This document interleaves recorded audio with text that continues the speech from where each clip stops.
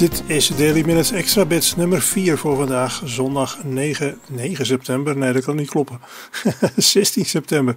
Uh, de Rain Report brengt dit weekend een lezing door K1RFD, de bedenker van Echolink. Ik vind het echt de moeite waard. Hij is wel in het Engels. Uh, ik begin echt met deel 4 van de serie over zelfbouw. Geen data dit keer, het is nog erg vroeg ook. Ik heb een geïnspireerd moment op zondagochtend 20 over 7. Ik heb me trouwens net aangemeld voor Mastodon. Mastodon dat is een uh, open source social media systeem. Je kunt zelf een server opzetten en je kunt die ook in een netwerk opnemen van soortgelijke servers. Ook met andere systemen zoals Friendica, die een gemeenschappelijk protocol delen. Uh, ik ga eens even kijken hoe dit, uh, ja, hoe dit bevalt. Bevalt het erg goed, dan zet ik er zelf een server voor op. Maar goed, deel 4 van de serie over zelfbouw. Deel 4 van de serie over zelfbouw. In deel 3 vertelde ik hoe ik achtjes draaiend op een glazen plaatje de zendkristallen die ik voor een gulden per stuk had gekocht en die op 3,4 MHz werkten omhoog naar boven de 3,5 MHz in de 80 meter amateurband bracht. Ik kreeg vanochtend uh, na de Daily Minutes trouwens nog een vraag of een opmerking dat het zo jammer was dat ik zo'n kristal niet even in het stopcontact had gestoken, waar het toch zo prima in paste. Ik heb dat inderdaad niet gedaan, maar dat was ten dele omdat ik wist dat het dan gebeurde. Ik weet niet of het Fred Forstemans was of een klant van hem die het had geprobeerd, maar als ik me goed herinnerde, gebeurde er in zo'n geval regelmatig niets. Het kristal is hoogohmig. Uh, echter, het is wel een vorm van piezo-materiaal en in bepaalde gevallen boog het plaatje dus door de hoge spanning kennelijk zo ver door dat het in stukken brak. Gevolg was dat dan de dikke metalen plaatjes die het kristal vasthielden en die zo voor de houdercapaciteit zorgden, door de sterke veer tegen elkaar gedrukt werden en dan had je een fikse kortsluiting. Het lukte me overigens om een paar van die kristallen in amateurband te krijgen, waar ik in die tijd overigens nog niet mocht zenden. De ontvanger van de Optimist was net als bij de moderne Pixie 2 van het directe conversieprincipe. Dit is een van de eenvoudigste manieren om een ontvanger te maken en die eenvoud die kent een paar nadelen, waardoor dat soort ontvangers in de afgelopen 20 jaar steeds meer in onbruik raakten. Echter door de komst van de SDR-ontvangers werd dit type ontvanger weer nieuw leven ingeblazen, omdat de SDR-software in staat is om een aantal van de problemen van dergelijke ontvangers gewoonweg weg te rekenen. De zeer bekende Heatkit QRP-apparaten HW7 en HW8 die werkten trouwens ook met zo'n directe conversieontvanger, kortweg DC-ontvanger genoemd. In feite is een DC-ontvanger een enkel super. Hij mixt echter niet naar een middenfrequent. De eerste mixer mengt direct naar audiofrequenties. In feite is de functie van detector en eerste mixer dus in dezelfde schakeling gecombineerd. Een dergelijke ontvanger is niet zo geschikt voor AM-signalen, omdat je dan precies 0 bit, dat wil zeggen op 0 moet afstemmen. Maar voor SSB en CW, als je de nadelen op de koop toeneemt, is die wel geschikt. Bij de Heatkit-apparaatjes wordt er trouwens een gepiekt audiofilter gebruikt, als ik me niet vergis rond 800 hertz. Het zijn apparaatjes die voor morsen bedoeld zijn. De Optimist was dat ook en daarbij bestond een mixer uit twee diodes, ik geloof AA119 of OA95 of zoiets, waarbij de oscillator op de beide anodes aangesloten werd. Die anodes die zaten daarbij uiteraard aan elkaar gesoldeerd. Op de ene kathode zat de hoogohmige kant van een afstemkring op 3,5 MHz met een aftakking als impedantietravo voor de antenne. Op de andere kathode zat een simpel laag doorlaatfilter met een weerstand en twee condensatoren. Niet een smal filter voor één toon dus. Erachter zat een klein audioversterkertje die het geluid naar koptelefoonniveau versterkte. Het versterkertje werkte met een TAA 293 of 273, dat weet ik niet meer helemaal zeker. Uh, een uiterst eenvoudig Philips IC uit de jaren 60 dat op het moment van publicatie van de Optimist al zo goed als niet meer te krijgen was. Het is me later één keer gelukt zo'n IC'tje te bemachtigen. Ik heb deze Optimist een paar keer in wat verschillende varianten gemaakt. En een van die apparaatjes had dus het originele IC'tje in TO18 behuizing met vier pootjes. Net als de 40673 MOSFET, als je dat wat zegt. En door het IC'tje kon het apparaatje natuurlijk veel kleiner gemaakt worden. In een oudere versie van het fameuze Philips Pocketbook, dat tot in de tweede helft van de jaren 70 te koop was, kon je zien wat er in het IC'tje zat. Nou, dat had ik met BC107 zo nagebouwd. Het werkte precies net zo. Het was alleen een stuk groter. De oscillatortransistor was trouwens een 2 en 1613. In die tijd ook nogal een bekend onderdeel. In dezelfde behuizing als de 2 en 2219A, die in veel FM-zenders gebruikt werd. En die ging ook een stuk hoger in frequentie. De nadelen van een directe conversieontvanger die bestaan er overigens uit dat je bijvoorbeeld ook de spiegel ontvangt. Die spiegel zit niet in een andere band, zoals bij een eh, superheterodine, maar bij Mosse 2x800 hertz naast het gewenste signaal. Je kunt overigens wel het onderscheid horen. Bij de spiegel gaat de toon als je aan de afstemknop draait in een andere richting dan bij de gewenste frequentie. In het ene geval gaat de toon omhoog en in het andere geval omlaag. Maar je hebt er natuurlijk wel last van als er een sterk station op die frequentie zit. Een ander nadeel van een dergelijke ontvanger is dat de ingangskring gevoelig is voor microfonie. Dat wil zeggen, als je een ouderwetse afstemcondensator met luchtisolatie gebruikt, dan wordt het geluid dat in de check hoorbaar is zachtjes in AM- en fasemodulatie op de lokale oscillator gemodelleerd en dat wordt bij de detectie in het audio hoorbaar. Als je op zo'n ontvanger dan een luidspreker aansluit, dan gaat hij rondzingen. Alleen bij een mechanisch erg keurig en zorgvuldig opgezette DC-ontvanger kun je ook een luidspreker gebruiken. DC-ontvangers worden echter vrijwel altijd met een koptelefoon gebruikt. Een ander probleem is dat de lokale oscillator, zeker bij dit soort eenvoudige ontwerpen, vaak een klein beetje naar buiten lekt. Passeert dat uitgestraalde signaal een voeding, met name de brugcel daarin, dan wordt er een 100 hertz brom op gemodelleerd. En komt dit gemodelleerde signaal dan weer in de ontvanger terecht, dan hoor je dat ook keihard in de koptelefoon. Voor de spiegel in zo'n ontvanger is geen eenvoudige oplossing. Voor de brom en de microfonie wel. Dat kan door een zogenaamde Poljakov-mixer te gebruiken. Misschien leg ik dat in een volgend deel nog uit. Zo eens even wat anders proberen. De meeste van de Daily Minutes uh, neem ik altijd op met een recorder, een Tascam TR05.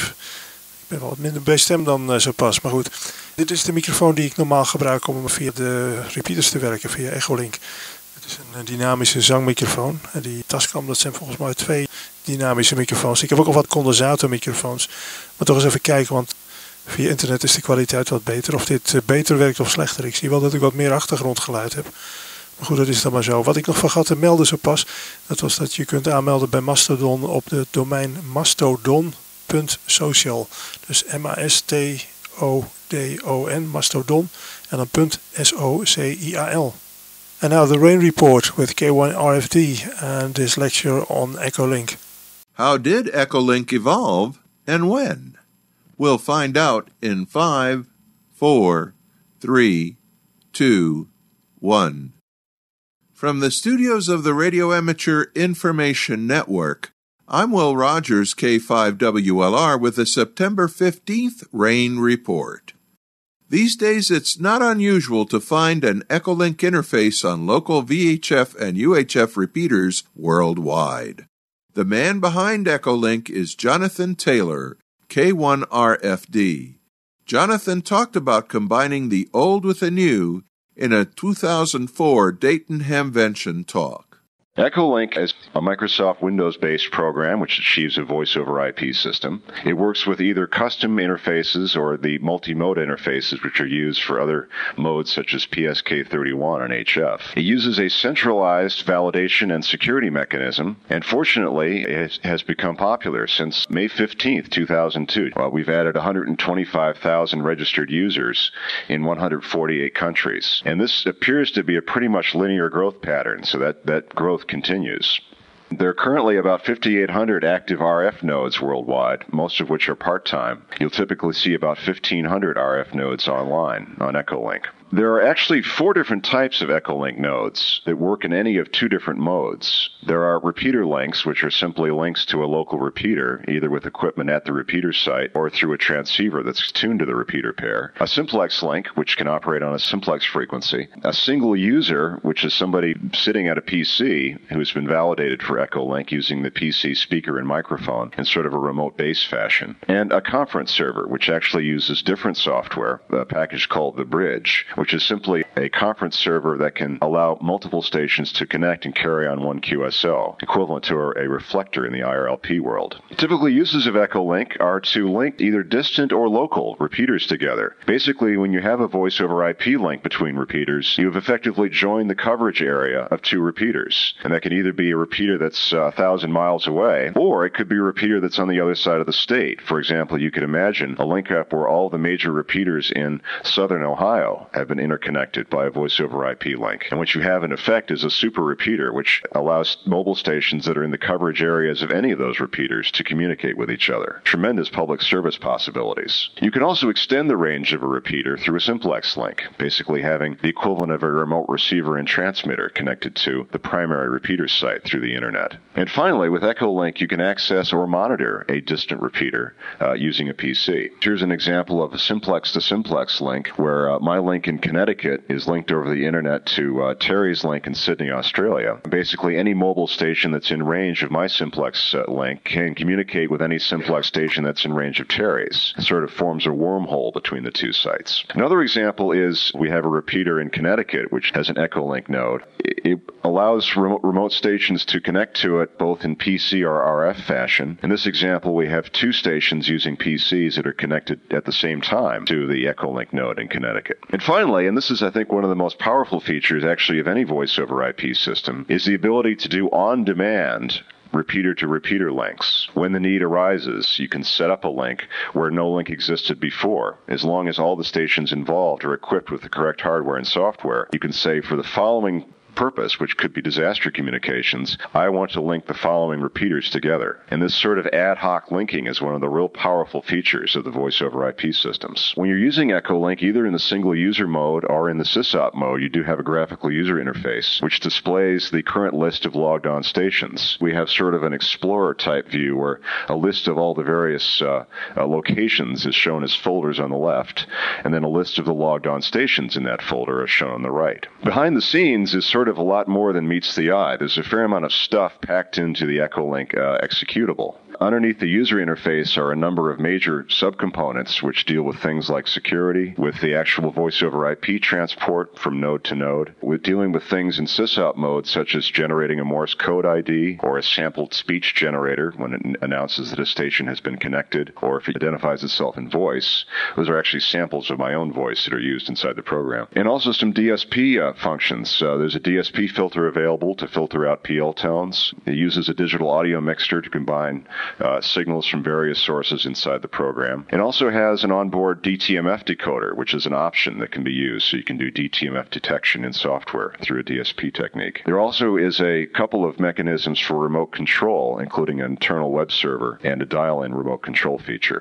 One of the misconceptions about Echolink is that all the uh, communication between stations is going through a server, and this is simply not the case. The servers are used for validation, uh, security, and for directory services, essentially, to keep track of who's online and what their status is at the current moment, and specifically what their IP addresses are. The system actually consists of a number of servers. There is a central validation server, which holds the database of all the Echolink users in the world, and which becomes sort of our, our central point of control for the system. But there's also a set of what I call regional addressing servers, which are sort of satellite servers to these. These are completely fault tolerant, load balanced systems. Each regional addressing server holds a cached copy of the user list and also keeps a live copy of the users that are logged in. These regional addressing servers talk to each other every 20 seconds, sending deltas of what's changed since the last time the update was sent. In that sense, all the regional addressing servers, and there are currently four of them, stay in sync, plus or minus 20 seconds. And this way we can achieve load balancing and be able to scale the system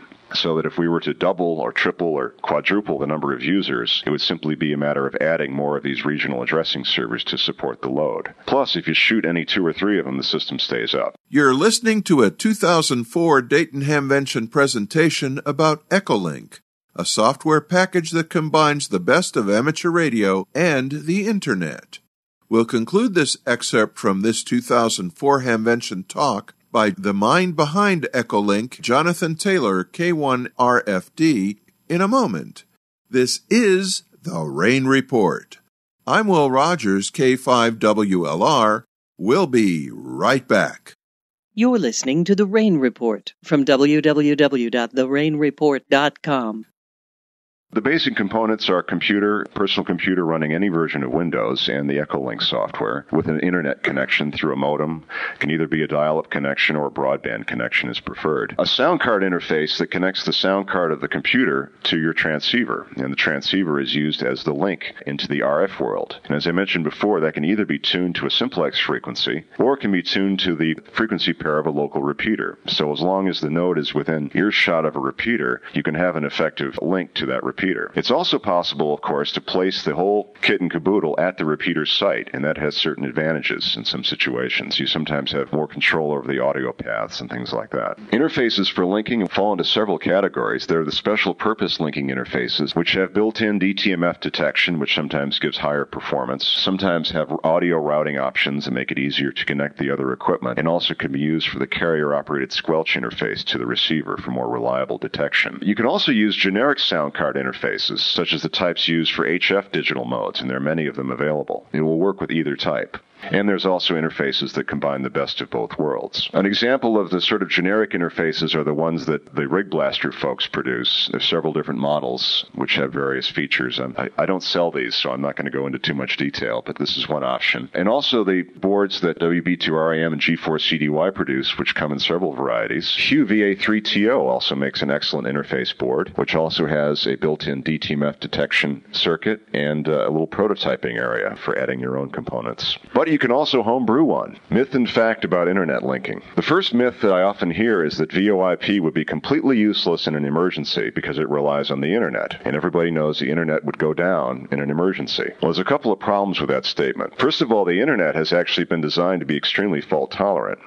I think the U.S. Defense Department did most of the early research in the internet and have designed it to survive all kinds of natural disasters and unnatural disasters. The second issue is if, if you think about it, a lot of public service communication or disaster communication that goes on is not specifically in the affected area. And I think the way I put it here is that internet service is often still available close to a disaster area, if not immediately in it, with ham radio often providing the sort of last mile communication in and out of the affected area. And this is an example of us using all of our skills for the best advantage. Our communication, RF skills, our ability to deploy mobile and portable units to a disaster area, but also our ability to interconnect those systems in such a way that we can achieve better communication. And I think that Echolink and IRLP have already proven their effectiveness for disaster communications. The second myth is internet linking is all fine and good, but it's not legal. The fact is that in nearly every country, Internet links are legal if they're operated in a legal manner. So it's important to understand the rules and regulations of the country in which you live and apply them to the Internet node that you're setting up. The major systems do offer mechanisms to help operate the link within regulations. For example, in the U.S., the ability to use remote control over a wireline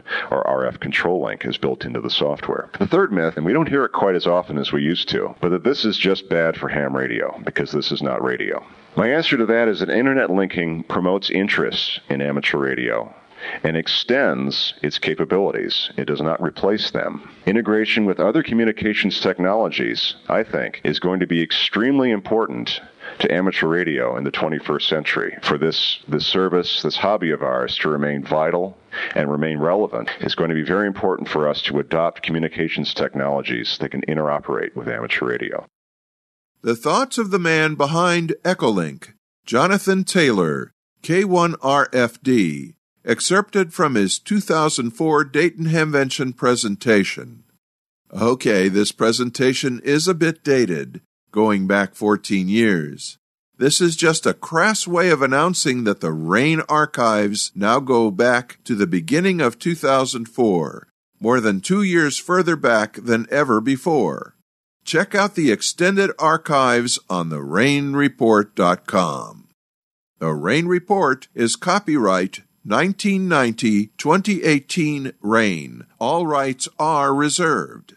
This Hamcast generally updates Saturday morning on the rainreport.com and Saturday evenings on shortwave station WTWW from Lebanon, Tennessee on around 9 p.m. Central Daylight Saving Time on 5085 kilohertz.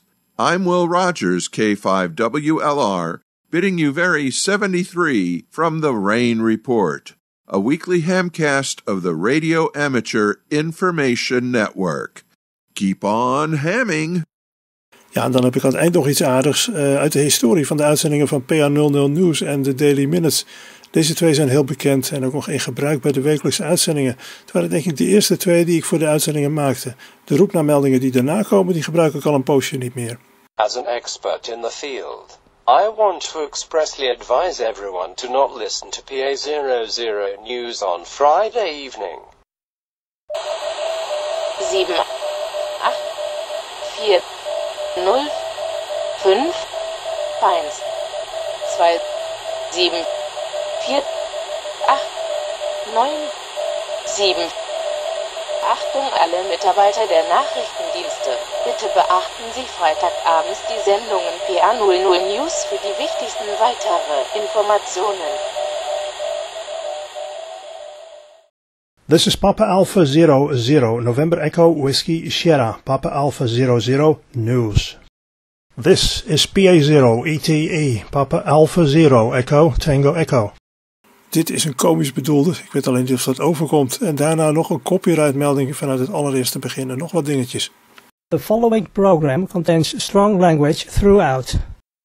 Op alle externe bijdragen na zijn de uitzendingen van PA00 Nieuws Copyright 2013 PA00 Nieuws. Luister op vrijdagavond nou niet naar die jongens een programma. Daar wordt hij alleen maar ijdel van. Ja, als je via YouTube kijkt en je kijkt naar het beeld, dan zou je nu de microfoon moeten zien eh, waar ik net in praatte. En ik kan ook de, de tascam die ik nu inspreek even laten zien. Let op. Hoor. Dit is de tascam. Um, de tascam dus, en daar spreek ik het allemaal op in. Om even te laten zien dat er ook beeld mogelijk is.